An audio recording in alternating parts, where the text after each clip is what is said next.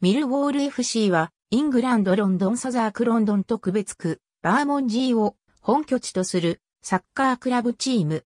1885年、ミルウォール・ローバーズとしてクラブが創設される。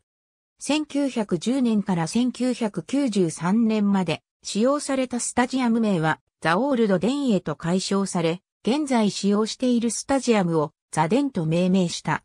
チームのモットーは、俺たちはどこで戦おうとも敵を恐れないという意味の We Fear No, For Where E, ER We Go。ミルは風車の意味から転じて工場を指す。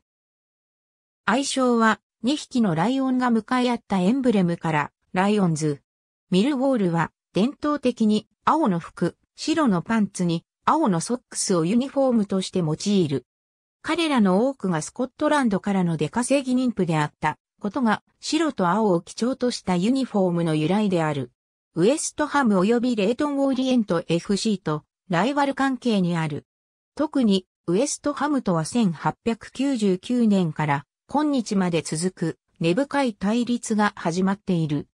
マスコミはミルウォールのサポーターをフーリガニズムと関連させたり、彼らの悪い部分だけを切り取ってと報道したりした。これらの出来事からミルウォールのちゃんとに No one likes us, we don't care, みんな俺たちのことを嫌うが、俺たちは気にしないというものが存在する。2004年には FA カップで決勝に進出し、クラブ史上初の欧州の舞台となる UEFA カップの出場資格を得るなど、飛躍の年となった。FA カップは1900、1903、1937、2013年にそれぞれ準決勝へ進出している。ミルウォールはその歴史の長くをフットボールリーグの2部や3部相当で過ごしているが、1988から89シーズンにはディビジョン1で10位の成績を残した。これはクラブ史上最高の順位である。1920から21シーズンから2015から16シーズンまでのリーグ戦の成績をすべて合わせると、イングランドで39番目に成功しているクラブとなる。1885年に海運業を営む JT モートンの下で働く労働者によってミルウォールローバーズがロンドンのイーストエンドのドック島に設立された。1849年、食料を海上輸送するためにスコットランドのアバーデインに創設されたその会社は、イングランドで初めて海上輸送を専門とする企業であった。1872年に、ドック島のミルウォールドックと呼ばれる場所に食品加工工場を建設。スコットランドのダンディなど国境を越えて事業を拡大していく。ミルウォールローバーズとしての初戦は1885年10月3日、レイトンストーンを本拠地としていたファイルブルックとの一戦である。創設間もないチームはアウェーで5レーと3単たる門出となった。1886年にイーストエンド FA が創設された。同年、当時存在したいシニアカップにおいてミルウォールが決勝に進出。レートンクリケットグラウンドにおいてロンドンカレドニアルと対戦。結果は2-2の引き分けに終わり、トロフィーは両チーム6ヶ月ずつ保有することになった。これは史上初めての試みである。その2年後にもミルウォールはシニアカップの王者となった。1889年4月、ミルウォールローバーズは彼らのクラブ名を新たな本拠地であるアスレティックグラウンドに倣ってミルウォールアスレティックに変更した。1894年のサウザンリーグ設立時にはディビジョン1の中心チームの一つとして参加し、1894、95、95、96シーズンには連覇を達成。1901年、彼らの保有会社がアスレティックグラウンドの土地を木材置き場として使用するとの決定から、彼らは本拠地をノースグリーンウィッチに移すことを余儀なくされる。ミルウォールアスレティックは1900年と1903年に FA カップ準決勝に進出。1908年と1909年にはウェスタンフットボールリーグ連覇を達成する。1910年、サウスロンドン、ニュークロスに新たにスタジアムを建設。ザデンと命名される。クラブ創設から25年間で、ドッグ島に4つの異なる本拠地を持ち、着実にサポーターを獲得していったため、ドッグ島はほとんどミルウォールの島となった。ザデンの建設コストは、当時のレートで1万ポンドほどと推定された。1910年10月22日、新たな本拠地で迎えた初戦は、サウザンリーグの昨シーズン王者ブライトンホーブ、アルビオン戦である。結果は1例で、ブライトンの勝利となった。クラブ名をミルウォール FC に変更した後、1920年に他の22チームと共同して、フットボールリーグを創設。それに伴って、フットボールリーグディビジョン3が創設。ほとんどすべてのチームがサウザンリーグから離脱することを決定し、ミルウォールもこれに倣った。ミルウォールのフットボールリーグでの初戦は1920年8月28日、ザデンで行われたブリストルローバーズ戦である。結果は2例でミルウォールの勝利だった。1925から26シーズンでは11クリーンシートを記録。ヨークシティ、レディングと並んで当時としてはリーグ史に残る記録となった。この当時、ミルウォールはカップ戦に滅法強いチームとして知られ、多くの印象に残る勝利を挙げた。最も印象的な勝利は、1926-27シーズン、FA カップ第3回戦のハダーズフィールド戦であろう。彼らは、当時の一部リーグで3連覇を達成していた、強豪であったが、3部所属のミルウォールは彼らを3、1で下した。ちなみにハダーズフィールドはこの年4連覇とはならず2位で終わった。27、28シーズンにはディビジョン3の王者に輝いた。この1シーズンだけでミルウォールは本拠地で87回ゴールを決めており、この記録は未だ破られていない。33、34シーズンに再びディビジョン3へ降格。1930年代や40年代のサンダーランド戦やダービーカウンティ戦では、スタジアムの収容人数である4万8000を超える観客が観戦した。特に1937年の FA カップでミルウォールはディビジョン3に所属するクラブとして初めて準決勝に駒を進めたが、4回戦のダービーカウンティ戦では4万8742人もの観客がスタジアムに足を運んだ。この数字は今もなお破られていないクラブレコードである。ディビジョン2に所属しているにもかかわらず、ミルウォールはイングランドで11番目にファンの多いクラブとなった。そのためクラブの収益は大幅に上がった。その収益の一部をザデンの設備投資や代表クラスの選手の獲得費用に充てた。1935年に獲得したレグ・ジェイ・アール・スミスはイングランド代表として2試合に出場し、2ゴールを決めている。ミルウォールは一部昇格を長期目標として掲げていたが、1939、40シーズンの最中に第二次世界大戦が勃発し、彼らの夢は一時にして打ち砕かれた。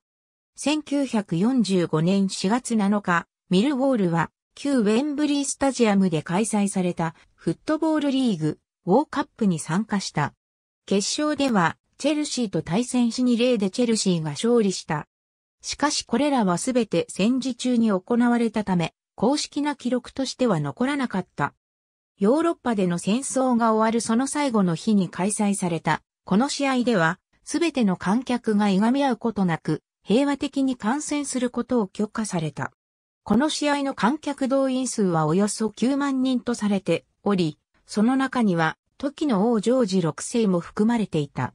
ミルウォールが王を含む9万人の前で試合をするというのは、後にも先にも、この一度きりであろう。多くの若者が戦争に駆り出され、多くの者がこの戦争で命を落とした。この事実はかつてクラブが掲げた一部昇格という目標の実現をより一層困難にさせた。特にミルウォールの状況は他クラブと比べて断然に悪かった。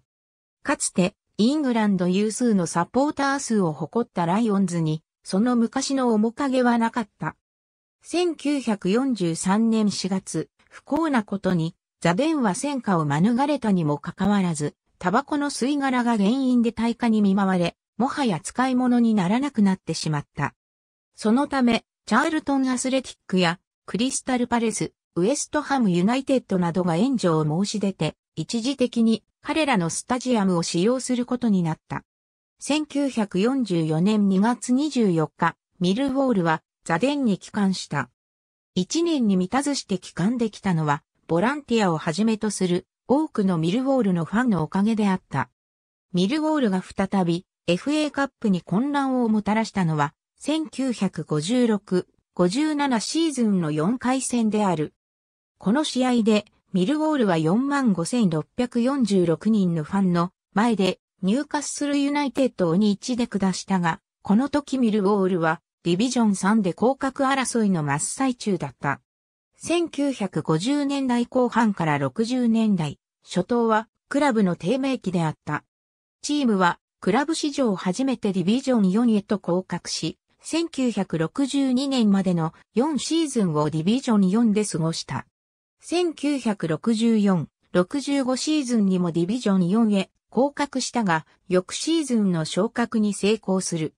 この日を最後に現在に至るまで、ミルウォールは4部でプレーしていない。1964年8月22日から67年1月14日まで、ミルウォールはホームゲーム59試合で43勝16分の無敗記録を樹立。その間55の異なるチームと対戦し、112得点33失点、35回のクリーンシートを達成する。これは、当時の監督ビリー・グレート、彼の後任であるベニー・フェントンの手腕によるところが大きい。この功績を称えて、FA から当時のミルウォールに所属する選手全員に金のライターが贈呈された。後に1978年から1981年までの63試合のホームゲームで無敗記録を樹立するリバプールとの一戦において、この記録はついに途絶えた。1970年代初頭は多くのスター選手を擁し、71年の成功として多くのファンの間で語り継がれている。守護神ブライアン・キングをはじめ、守備のようにハリー・クリップス、攻撃的ミッドフィルダーとして、デリク・ポゼイー、クラブで代表戦最多出場記録を持つイーモン、ダンフィー、クラブ最多出場記録を持つバリー・キッチャーが所属していたが、ディビジョン1昇格を勝ち点1差で逃した。しかし1971、72シーズンはホームゲーム無敗で終わった。これにより、ミルウォールは4つの異なるリーグでホームゲーム無敗記録を樹立した。1974年、史上初めて日曜日に試合が開催される。ミルウォールはフラムと対戦した。同年、リーグカップで準々決勝に進出する。1977年にも同カップで準々決勝へ駒を進めた。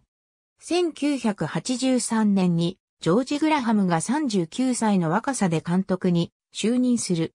すると1982-83シーズンのフットボールリーググループカップ決勝でリンカーンシティを3-2で下しタイトルを獲得。1984-85シーズンはグラハム政権下で最も成功したシーズンとなる。FA カップでは準々決勝に進出し、リーグではディビジョン2へ昇格する。ホームゲームは無敗で終えた。この年の FA カップで当時ディビジョン1に所属したルートンタウンとのアウェーゲームで一例の敗北を喫した。この試合で一部サポーターが暴徒化し、31人の警察官を含む81人もの人が重軽傷を負った。1986年、グラハムがアーセナルの監督に抜擢されたことに伴い、後任にスコットランド、グラスゴー出身のジョン・ドハーティが選出される。ドハーティはまだ経験が浅く、彼の手腕を不安視する声もあったが、就任から2シーズン目の1987から88シーズン、元イングランド代表、テティ・シェディンガムを中心に、クラブ史上初の一部昇格を成し遂げた。それまで、ミルウォールは、ロンドンに本拠地を置くクラブの中で唯一、創立後100年間において一部でのプレー経験がないチームであった。昇格後もチームの勢いが衰えることはなかった。開幕後6試合は無敗で、その年のクリスマスまでトップ5に食い込む大健闘を見せた。この活躍はトニー・カスカリーノとテディ・シェディンガムがそれまともにプレーした3シーズンで99ゴールを叩き出していたことに大きくよるであろう。結局このシーズンは10位で終えたものの、クラブ史に残る大躍進であった。翌1989、90シーズンは開幕のコベントリーシティ戦こそ4から1で勝ったものの、その後は不振に喘ぎ、結局そのシーズンはわずかに勝しか上げることができず20位に終わり、ディビジョン2へ降格が決定した。チームの降格が決まる少し前、ドハーティが解任され、後任に前ミドルスブラの監督であるブルース・リオクが就任する。1990、91シーズンにテティ・シェディンガムはイングランド代表に招集され、クラブではリーグ得点王に輝く。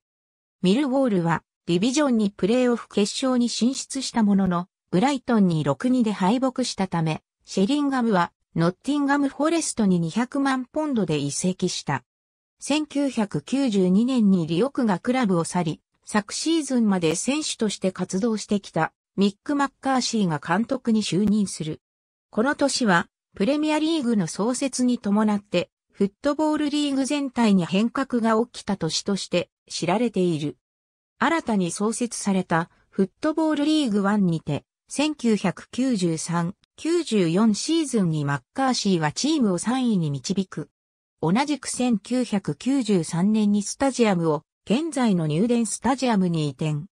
新スタジアムの鏡開きは A 労働組合トップのジョン・スミスによって1993年8月4日に行われた。このスタジアムはイングランドで初めて立ち見席を廃止したスタジアムである。これはヒルズボロの悲劇の反省を踏まえたものである。1994 95シーズンの FA カップ3回戦再試合で、ミルウォールはアーセナルを彼らの本拠地ハイバリーにて2例で下す。1995年にはリーグカップでも準々決勝に進出した。観客同士の衝突の中行われたプレーオフ準決勝ではダービーカウンティと対戦する。アグリゲートスコア5-1でミルウォールは昇格を逃す。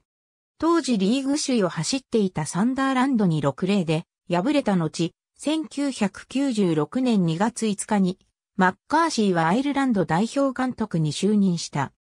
彼の後任には当時レースロバーズの指揮を取っていたジミー・ニコルが抜擢されたが、チーム状況は上向かず22位でシーズンを終え降格が決まった。度重なる降格はクラブの財政状況を悪化させた。1997年についに破産申請を行う。ニコルは監督職を解かれ、クラブ安定化のためドハーティを監督へ再任させた。ミルウォールは新たな経営体制の下再スタートを切る。クラブの会長にはギリシャ、キプロス出身のセオ、パフィティスが就任。監督には前、ウエストハムの監督であるビリー・ボンドが就任した。新体制の下で迎えた1997から98シーズンも状況は上向かず、ディビジョン2の降格圏をさまよった。ボンドはわずか1年で解任され、後任に前年まで選手として活躍していたケニス・スティーブンスが就任。彼の右腕は同じく元選手のアラン・マクリアリーが務めた。マクリアリーは後にスティーブンスと共同で監督を務めた。二人の下でミルウォールは初めて、ウェンブリースタジアムでの公式戦に出場した。1999年に開催されたフットボールリーグトロフィーでは、準決勝のジリンガム戦において、後半ロスタイムにミルウォールがネットを揺らし勝利する。決勝は、ウィガンアスレティックとの対戦であったが、駆けつけた4万9000人のミルウォールサポーターの前で、ライオンズは1例の敗北を喫した。1999から2000シーズンのリーグに、プレーオフの準決勝において、またしてもウィガンと対峙したミルウォールは、アグリゲートスコア1から0で試合を終え、大舞台で2度目の敗北となった。2000年9月、ミルウォールの新たな監督にマーク・マクギーが招聘される。5年前にスティーブンスと共に3部リーグで争っていたチームは8ヶ月後、ディビジョン2の王者となった。この時に記録した勝ち点93ポイントはクラブレコードになっている。2001から02シーズン、ディビジョン1での開幕戦は、ホームでのリッチシティを迎え撃った。ミルウォールは4から0で勝利し、後のプレーオフ出場を運命づけたかのような試合となった。ディビジョン1プレーオフ出場権を得たミルウォールは準決勝でバーミンガムと対戦するも2から1で敗北してしまう。昇格を逃した翌シーズンは順位表の注意へと沈み、幕木は2003から04シーズンの開幕直後に解任された。2003年、元チェルシー FC 所属でイングランド代表歴を持つデニス・ワイズが選手権監督としてライオンズの一員となった。ワイズは就任したシーズンに、クラブ史上初となる FA カップ決勝へ駒を進めることとなる。